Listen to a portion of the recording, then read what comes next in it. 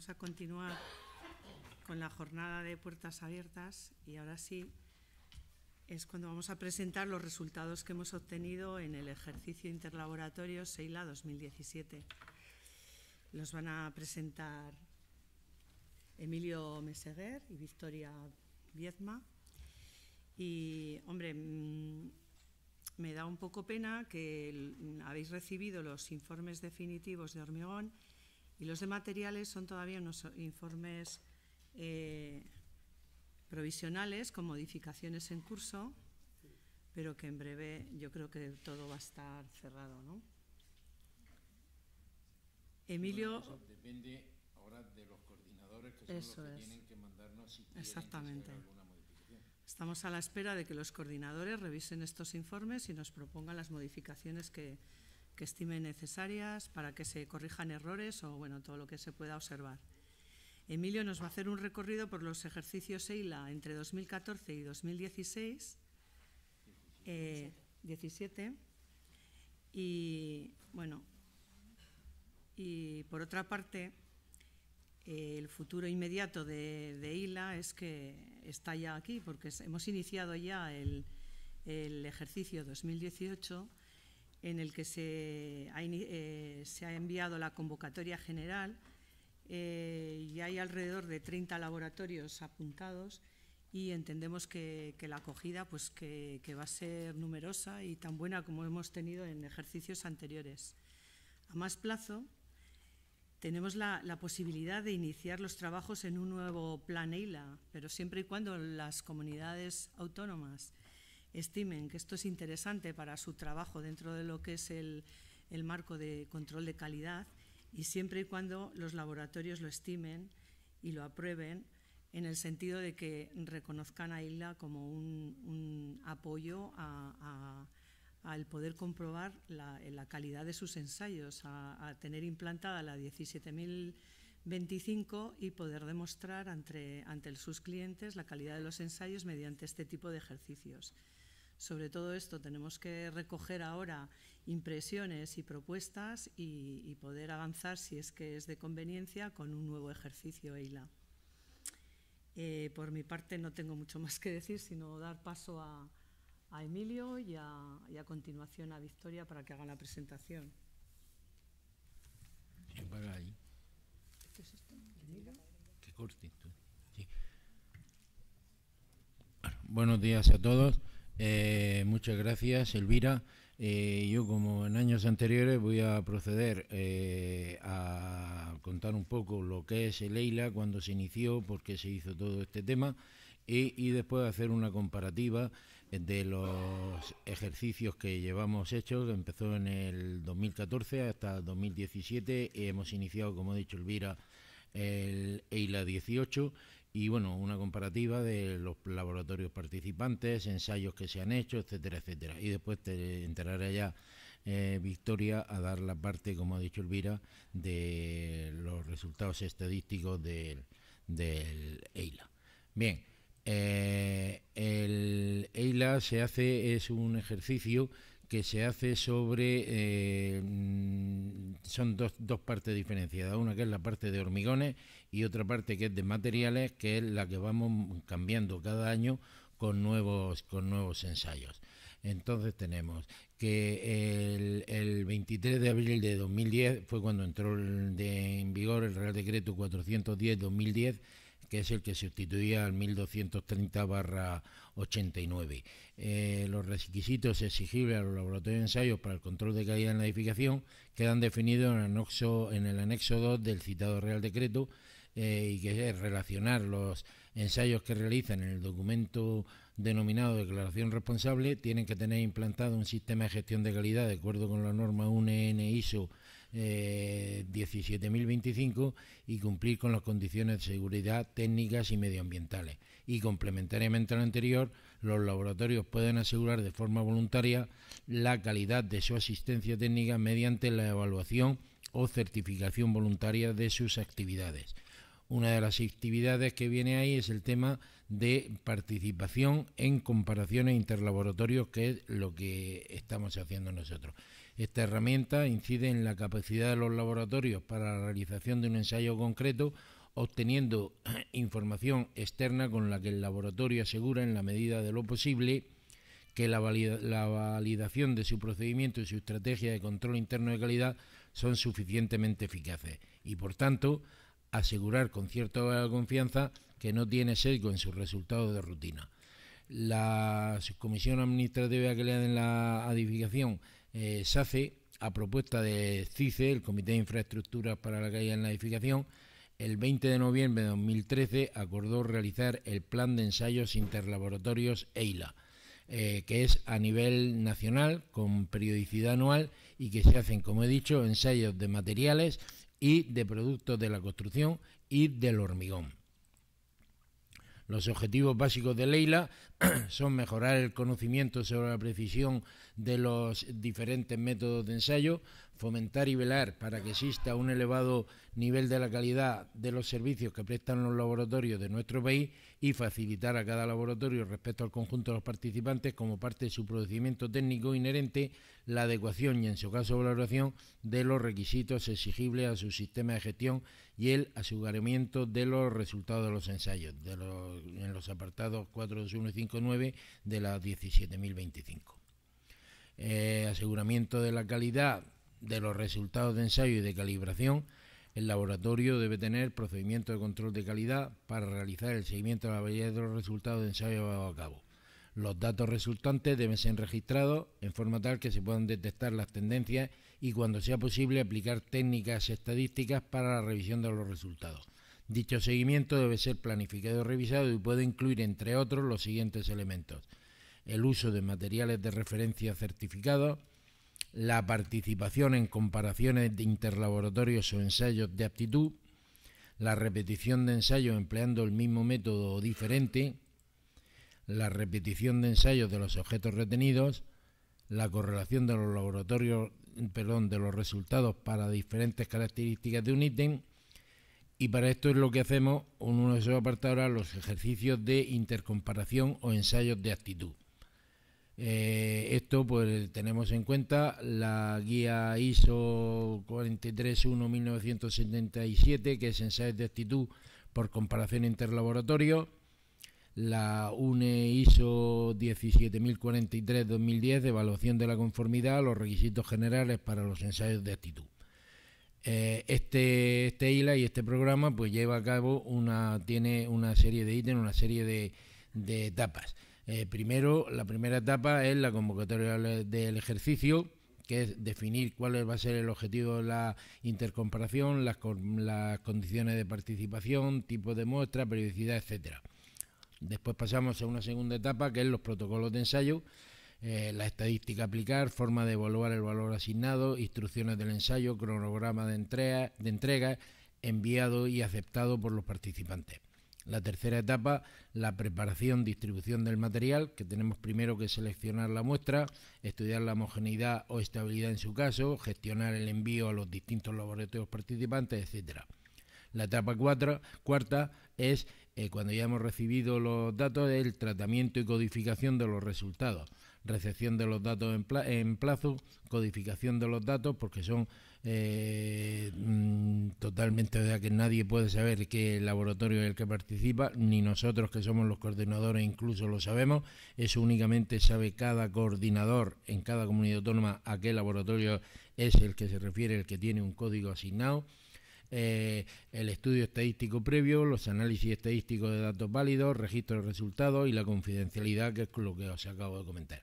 Y por último, la etapa quinta, que es el informe estadístico final y parcial de los resultados obtenidos. Publicación del informe final, datos cuantitativos, gráficos adecuados, nota para los laboratorios con incidencia para saber qué incidencia ha tenido cada laboratorio, por qué han fallado, si es que han fallado en algún ensayo, las conclusiones y, como repito e insisto mucho en esto, en la confidencialidad.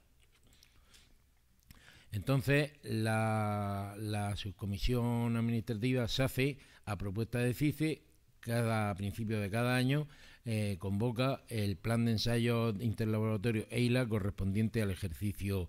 en vigor. eh, mediante una carta de invitación, se les manda el protocolo del, plan de ensayos de, intercomparación, un, protocolo general y luego se le envía ya el particular para cada, se os envía el particular para cada ensayo. Eh, relación de ensayo en los que se va a participar ese año con su norma, tipo y conforme a lo recogido en la declaración responsable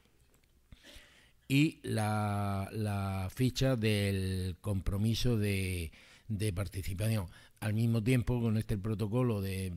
plan de ensayo, eh, se envían también las fichas, o posteriormente, cuando se envían ya los materiales, se envían unas fichas que ya están preparadas, que es para la mm, donde tienen que reflejar los resultados de eh, cada uno de los ensayos. La participación de Leila consistirá en la realización de ensayos sobre hormigón y materiales de construcción para la realización de los cuales los laboratorios declaran cumplir los siguientes requisitos exigibles. Eh, perdón, los siguientes no, los requisitos exigibles. La hipótesis de partida es que en total ahora mismo hay 461 laboratorios declarados y registrados en el Registro General del Código Técnico de la Edificación, participan las 17 comunidades autónomas y, como repito otra vez, es sobre materiales de construcción y de hormigón. Esto lleva luego una organización territorial que son los coordinadores de cada administración autonómica y los coordinadores generales que somos los que estamos en contacto con ellos. Eh, después esto lleva una serie de historias, pues que los organismos colaboradores, hay que contactar con los fabricantes de productos para conseguir las muestras necesarias de materiales, ver la homogeneidad, los ensayos previos, el peso total de las muestras que se van a enviar, los ensayos químicos que hay que realizarle alguna de ellas, etcétera. Después eh, contamos con el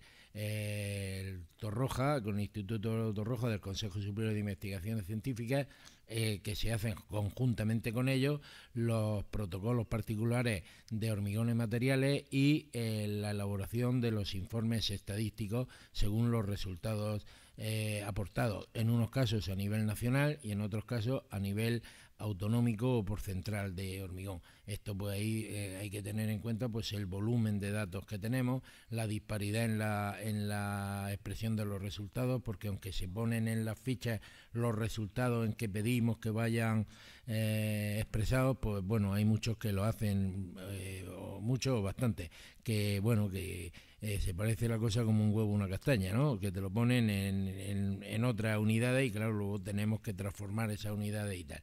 y después se hace siempre, te organizamos este año, por ejemplo, el curso sobre la incertidumbre, eh, que ya aprovecho de decir que en teoría en lo que tenemos previsto para la próxima, eh, cuando hagamos la presentación de los resultados de Leila 18, eh, lo que tenemos previsto es hacer una, una jornada de presentación del nuevo código estructural que saldrá probablemente este mismo año y después también eh, tenemos mucha relación con eh, ANEFOP, la Asociación Nacional de Empresas mm, Fabricantes de Hormigón Preparado, que son los que proponen las centrales eh, colaboradoras de hormigón y coordinar con ellos la fabricación del hormigón según el protocolo que se les envía para la realización de los ensayos. Lo hacemos con amasadora fija y si no tiene amasadora fija, viendo los valores de homogeneidad. Hay que tener en cuenta que los áridos de, cada comunidad autónoma son diferentes eh, y que la, y la fabricación de probetas queremos hacerla siempre aproximadamente con una semana de diferencia como máximo para que todas las comunidades lo realicen el, ensayo eh, al, al mismo tiempo y eso se fija en un calendario. Bien, entonces ya esto es la historia de por qué se hizo el Leila y en qué consiste. Y entonces vamos a ver así un poco por encima y luego nos entendremos un poco más en el Leila 17, porque esto lo cuento prácticamente todos los años en la misma parte, porque los resultados del Leila 14 son los mismos ahora que hace tres años. Pero siempre hay gente nueva y por eso pues lo repito para intercorporarlo. ¿no? En el Leila 14, que fue el primer año, participaron 15 comunidades autónomas eh, hubo 145 participantes en ensayos de hormigón, luego se, fabricaron un total de 580 probetas y participaron en este contraste 16 centrales de fabricación de hormigón.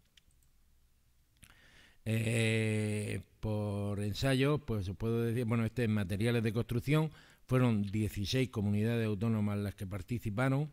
157 participantes de, laboratorio, participantes en ensayos de materiales de construcción y eh, se, prepararon 648 muestras para realizar 835 ensayos. Eh, aquí podéis ver, por ejemplo, que en, por ejemplo, muestras de eh, acero, pues fueron 89 muestras para 89 ensayos, en árido 138 muestras y ensayos, en suelo 128 muestras que se hicieron 254 ensayos, para Proctor 136 muestras y ensayos, morteros 81 y ladrillos 76 muestras para 137 ensayos. En total fueron 648 muestras las que preparamos para 835 ensayos. El volumen, el peso total de las muestras que se prepararon y se enviaron, para que os hagáis una idea, fue de 16 toneladas lo que tuvimos que, mover. El volumen de participación por eh, comunidades autónomas, pues aquí las tenéis. Eh, en materiales, bueno, eh, no voy a leer cada una de ellas, ahí la tenéis, tanto en materiales como en hormigón, cuántos participaron por cada comunidad autónoma y sale al final por lo que hemos dicho, 157 en materiales y 145 en hormigones. A ver, esto es así. Sí, que decía que en este caso eh, no participó en este primer ensayo, no participó la comunidad de Asturias porque fue cuando estuvo el interín de que cambió el que era coordinador, cambió de uno a otro, en otro no estaba todavía, o sea que hubo ahí un tiempo que, estaba aquello que no tenían un coordinador y entonces no se pudo hacer con ellos y en Galicia no participó en el tema de hormigones también por, por cuestiones simplemente que tenía pocas centrales en ese pocos laboratorios que fueran a hacer ese ensayo porque ellos habían hecho ya previamente una intercomparación dentro de la comunidad de Galicia y entonces pues para poder hacerlo uno o dos que creo que había porque si es menos de dos no podemos hacerlo porque entonces no podemos hacer estadística con menos de dos resultados. Eh, y así todo no es bueno pero bueno. Eh, y, y, tenía que desplazarse para hacer la toma de hormigón en ese laboratorio a otra comunidad autónoma diferente, le pillaba muy lejos, era mucha historia total, que ese año no, participó Galicia en el tema de hormigones. En 2015, ahí ya participaron las 17 comunidades autónomas, hubo 152 participantes en ensayos de hormigón, que se fabricaron 371 probetas y participaron 21 centrales de hormigón, de fabricantes de hormigón, de empresas fabricantes de hormigón. Eh, en materiales de construcción también participaron las 17 comunidades autónomas, 146 participantes en ensayos de construcción, 680 muestras para realizar 1.532 ensayos. Ahí podéis ver también se hicieron ensayos sobre aguas, aceros corrugados, acero laminado, áridos, betunes, suelos y, morteros. En este caso ya intentamos por lo que habíamos visto del volumen de muestras del año anterior, que habían sido 16 toneladas, que era demasiado, sobre todo por los gastos de envío que los, que los sufragan cada laboratorio, el suyo, pero era un volumen muy elevado, que eran más de 100 kilos lo que se envió a cada laboratorio que participaba en todo. Este, Sí, sí, sí, obviamente. Entonces, en este caso, pues bueno, los ensayos ya los preparamos para que el volumen de muestras se redujera y de 16 toneladas pasamos a 6 toneladas a 6 toneladas y media. Aunque en años sucesivos ha vuelto a subir y tal, pero es que no hay más remedio, ¿no? Bien, eh, aquí veis, podéis ver lo mismo que hemos visto con el 15, pues el volumen de, participantes, eh, de laboratorios participantes, tanto en materiales como en hormigones, por eh, cada comunidad autónoma. Aquí ya veis que ya están las 17 comunidades autónomas. En 2016 volvieron a participar las 17 comunidades autónomas, fueron ya 176 participantes en ensayos de hormigón que fabricaron un total de 801 probetas y participaron 19 centrales de hormigón. Y en materiales, las 17 comunidades autónomas, 166 participantes en ensayos de hormigón y 1.400 ensayos distribuidos, como veis aquí, en, eh, y se hicieron de emulsión de MBC, que no me acuerdo ahora mismo qué es, eh, materiales bituminosos en caliente, perdón, sí, materiales bituminosos en caliente sobre suelos, árido grueso, árido fino y baldosa cerámica. Aquí también bajamos a 4.260 kilos las muestras que se enviaron. Eh, ah, bueno, sí, es que ahora en el siguiente lo pongo por número porque es muy largo lo que hay, ¿no? Pero bueno, y se hicieron eh, ensayos sobre eh, emulsiones asfálticas, material bituminoso en caliente, porque ahí he puesto simplemente en este, en este gráfico habéis visto es emulsión, mezcla bituminosa 2, 3 y aquí están especificados cuáles son los ensayos. En este caso eh, la mezcla bituminosa 2 es el contenido de ligantes y el 3 la granulometría de los arios extraídos. Y estos son los ensayos que se hicieron en 2016. Eh, vuelvo a repetir la distribución de laboratorio, en tanto en materiales como en hormigones, por eh, comunidad autónoma. En el EILA 17 también participaron las 17 comunidades, este es el que estamos hablando de este año, el que estamos ahora explicando, participaron las 17 comunidades autónomas, subió, subió a 182 los participantes en ensayos de hormigón, se fabricaron 950 probetas y fueron 19 centrales de fabricación de hormigón las que participaron. En este año han participado por primera vez las eh, entidades que tienen concedido un DOR, un documento oficialmente reconocido, con el Ministerio de Fomento, que han sido eh, AENOR, AP Plus, eh, Buró Veritas y AW Certificación, creo, ¿no? Sí, esto, han participado este año, han reconocido el EILA como eh, ensayo de contraste válido para sus certificaciones, ya han participado con nosotros en este tema y este año también van a participar.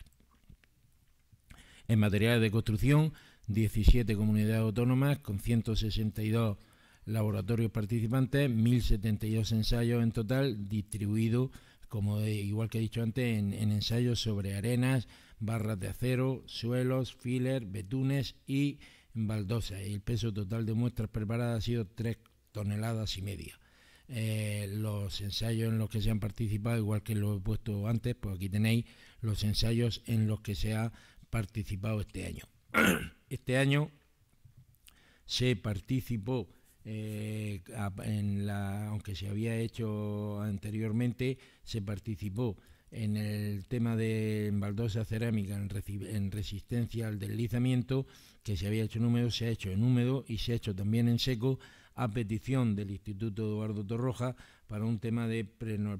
prenormativa con ENOR. Para preparar esa prenormativa se ha hecho este, este ensayo. Y se participó también con el Instituto Eduardo Torroja en un tema fuera de, de Leila, pero que es la terminación del programa Calidur, eh, que en el, cual pues se vio la determinación de la profundidad de, carbonatación, cloruro y mm, determinación de la profundidad de penetración de agua bajo presión estática que se había hecho ya el año anterior. Eh, el volumen de participación eh, de ensayos por comunidades autónomas, de, perdón, de, de laboratorios participantes eh, este está un poco más definido con respecto a los años anteriores. Aquí he diferenciado los laboratorios por comunidades autónomas que han participado solo en materiales, solo en hormigón, en materiales y hormigón y centrales. Y al final el total, por ejemplo, en, en Andalucía han participado dos laboratorios solo en materiales, dos laboratorios solo en hormigones y 21 laboratorios en eh, hormigón y materiales, con un, total de 25 laboratorios. Eh, por ejemplo, en Cataluña, por ver otro ejemplo, en Cataluña no ha habido ningún laboratorio que participe solo en materiales, 5 eh, solamente en hormigón, 13 en hormigones y materiales y 3 laboratorios de centrales de hormigón. El total, como digo, son 186 laboratorios totales los que han participado en el contraste. Si comparamos entre el, eh, desde Leila 14 con 14, 15, 16 y 17, pues podemos ver que ha subido, eh, que ha ido subiendo eh, podemos ver, por ejemplo, que en materiales, en el total, aunque está por comunidades autónomas, mm, comunidades autónomas también, en materiales, pues en 2014 fueron 157, 146 en 2015, 166 en 2010, 16 y 162 en 2017. Y en hormigones, que eso ha subido, sobre todo ya y en este último año también por la participación, como digo, de las empresas, de las entidades Condor, pues ha pasado de los 145 laboratorios que participaron en el primer contraste a 182 laboratorios que han participado en el, en el de este año, en el EILA 17. Eh, ya está iniciado la EILA 18, esperemos que se mantengan los números o que suban a ser, a ser posible, ¿no? Bien, entonces quería eh, aquí incluir, dar un poco los agradecimientos de los que han participado en el EILA 17, eh, bueno, los coordinadores generales que hemos sido nosotros y Elvira, el tratamiento en la gestión, tratamiento y gestión de muestras fue el Centro Tecnológico de la Construcción de la región de Murcia, la elaboración de fichas de resultados y análisis estadístico fueron Fernando Meseguer Serrano, Victoria de Los Ángeles, Viedma y el Instituto Eduardo Torroja de Ciencias de la Construcción. Y en hormigones pues ha participado ANEFOB como coordinador de esto y estos hormigones, estos centrales de hormigón son los que han suministrado gratuitamente el hormigón para la para la toma, las tomas correspondientes, que son todos estos que hay aquí por cada en cada comunidad autónoma. Y por último, en cuanto a materiales, estas empresas Árido, Arimesa, Árido del Mediterráneo, Pórfido del Mediterráneo, CHM Obras y Servicios, El Pinal de Bullas, Etosa Obras y Servicios y Keraben han sido las empresas que han suministrado también gratuitamente todos los materiales que se han empleado en los, en los ensayos correspondientes. Eh, y ya para terminar mi exposición, pues simplemente comentar, aunque ya lo habráis recibido todos los laboratorios, los, eh, la propuesta de ensayos que hay para este año, para el L18. El índice CBR en suelo en la parte de suelos y viales, presión de hinchamiento en un suelo en edómetro, ensayo de colapso en suelo y contenido de sulfato soluble. En cuanto en árido, la determinación de la densidad de partículas de absorción de agua y el coeficiente de friabilidad de arena en microdeval en agua la determinación de sulfatos y de cloruro, en mezcla bituminosa en caliente la sensibilidad al agua de las probetas de mezcla bituminosa, densidad aparente de probetas bituminosas por el método hidrostático, determinación de huecos en las probetas bituminosas, determinación de densidad máxima y en tejas cerámicas resistencia a la edad, permeabilidad por el método de tubos o permeabilidad por la bañera, el método bañera gota. Y en hormigones el cono de Abraham, la resistencia a compresión a 28 días y eh, extracción, eh, examen y ensayo a compresión de testigos de hormigón fresco, de, hormigón endurecido. Bien, deciros simplemente ya para terminar que todos estos ensayos se han sacado en reuniones con los coordinadores y tal, a propuesta, muchos de ellos de la ficha de participación que se envía, que, que se os envía a los laboratorios cada año, hay un apartado que dice eh, que, si alguien está interesado en hacer un determinado ensayo, que lo especifique para que lo estudiemos para ir a. Entonces, la gran mayoría de estos ensayos los hemos sacado de las propuestas de los propios laboratorios para, eh, para sucesivos.